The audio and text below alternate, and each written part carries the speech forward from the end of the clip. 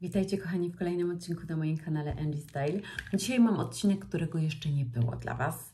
Odcinek o czymś, co zmieściło się w moich tutaj dłoniach. Mm, Pewnie się nie domyślacie, ale jest tego aż sześć. Ciekawa jestem, czy ktoś z Was e, już na początku wpadł na pomysł, co to może być. Ale zapewniam, że takiego odcinka jeszcze nie było. Postaram się częściej nagrywać odcinki o mm, takich e, kosmetykach, e, bo bardziej skupiłam się na pielęgnacji, tych wszystkich peelingach i tak dalej. A teraz mam dla Was pomadki do ust, ale tak naprawdę to są balsamy, takie odżywcze balsamy i pomadki do ust. Nie wiem jak Wy, ale ja jestem mega fanką takich e, pomadek. Zawsze w torebce, gdzieś w domu, przy łóżku, w łazience, ja mam kilka otwartych, ponieważ cały czas nawilżam swoje usta.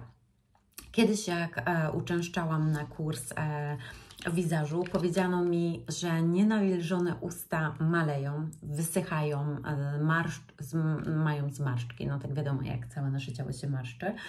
W związku z tym wzięłam sobie to głęboko do serca i bardzo dbam o swoje usta. Oprócz różnych innych zabiegów, które przeprowadzam, jak na przykład szczotkowanie szczotką, czy jakiś tam masaż, bo mam swoje naturalne, to dodatkowo właśnie cały czas je nawilżam, aby nie wysychały, y, nie wiotczały, no i gdzieś tam po prostu były e, ładne, duże. O, takie naturalne. Jeżeli chodzi o takie pomadki, to jest dla mnie totalny must have. E, mam sześć przetestowanych, w swoim życiu przetestowałam ich setki, o ile nie tysiące. Także zacznę od po kolei. Pierwsza, którą tutaj mam, to jest Soraya Planta. Jej już mam tutaj, słuchajcie, końcóweczkę. E, tak, ona była taka całościowa tutaj, wiecie, o, taka, ale już ją po prostu zjadłam, więc została końcóweczka. Mm, to jest ostatni, którą najbardziej tak, e, regenerujący balsam do ust SOS. Coś takiego.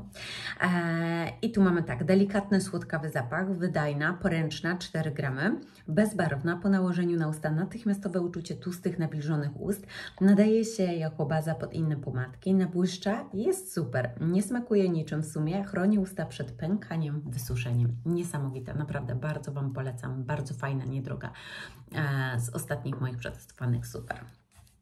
Kolejna, której tak naprawdę już nie ma, I tak naprawdę to był bardziej troszkę peeling. Nivea, Aloe Vera Scrub, peeling do ust aloe plus witamina E. Kiedyś poleciła mi to koleżanka, a ja przy okazji gdzieś tam dostałam mm, i po prostu zaczęłam to stosować. Tu ma taką w ogóle taką chropowatą teksturę to opakowanie. Delikatny zapach i peeling e, ust i delikatny peeling właśnie ust.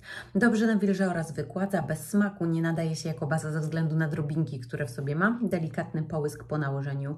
Usta są lekko śliskie, miękkie i lepkie. Ona miała taki lekko właśnie jakby seledynowy e, kolor.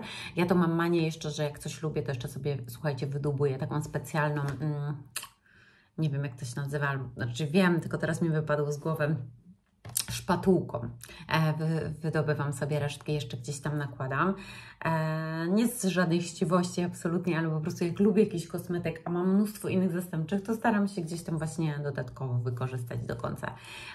No i ten peeling właśnie taki e, był, bo był fajny. E, tą dostałam od siostry Sylweko, odżywcza pomadka z peelingiem, e, naturalna regeneracja ust spękanych, przesuszonych, wrażliwych, 100% natury. E, to jest dla mnie akurat nowość, bo z tej firmy jeszcze nie testowałam nic, nigdy.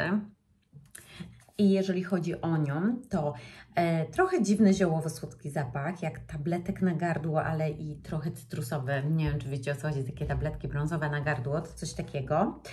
E, Ostrawe, gęste drobinki peelingujące usta.